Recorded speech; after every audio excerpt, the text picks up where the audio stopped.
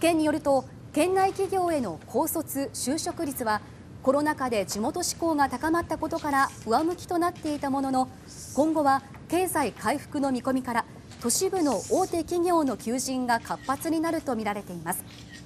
こうした中県内企業が選び続けられるよう県と長崎労働局は県商工会議所連合会などに対し